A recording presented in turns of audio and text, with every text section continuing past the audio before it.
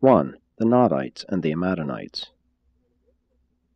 On a normal planet, the arrival of the material son would ordinarily herald the approach of a great age of invention, material progress, and intellectual enlightenment.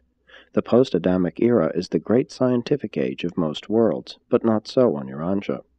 Though the planet was peopled by races physically fit, the tribes languished in the depths of savagery and moral stagnation. Ten thousand years after the rebellion, practically all the gains of the prince's administration had been effaced. The races of the world were little better off than if this misguided son had never come to Urantia. Only among the Nodites and the Amadonites was there any persistence of the traditions of Dalmatia and the culture of the planetary prince.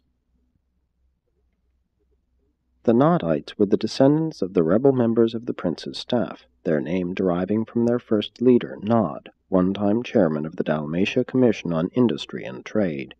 The Amadonites were the descendants of those Andonites who chose to remain loyal with Van and Amadon.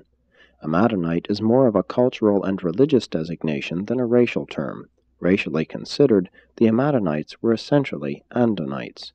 Nodite is both a cultural and racial term, for the Nodites themselves constituted the eighth race of Urantia.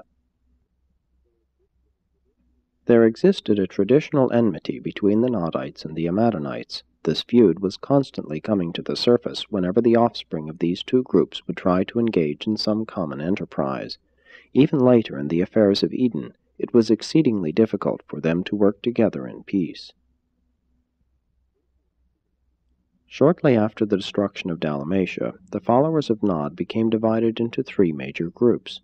The central group remained in the immediate vicinity of their original home near the headwaters of the Persian Gulf. The eastern group migrated to the highland regions of Elam, just east of the Euphrates Valley. The western group was situated on the northeastern Syrian shores of the Mediterranean and in adjacent territory. These Nodites had freely mated with the Sangic races and had left behind an able progeny, and some of the descendants of the rebellious Dalmatians subsequently joined Van and his loyal followers in the lands north of Mesopotamia.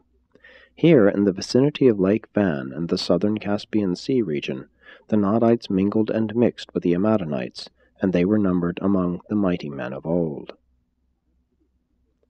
Prior to the arrival of Adam and Eve, these groups, Nodites and Amadonites, were the most advanced and cultured races on earth.